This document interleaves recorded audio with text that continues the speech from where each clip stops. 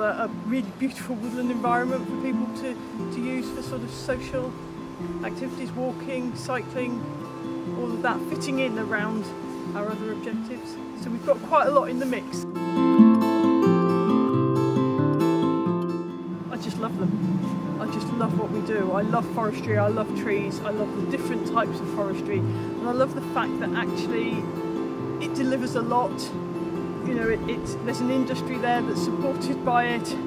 There's all the sort of, you know, increasingly social benefits that we see from woodlands and where we've been looking at uh, recently some of the work to do with restoring some of our ancient woodland sites.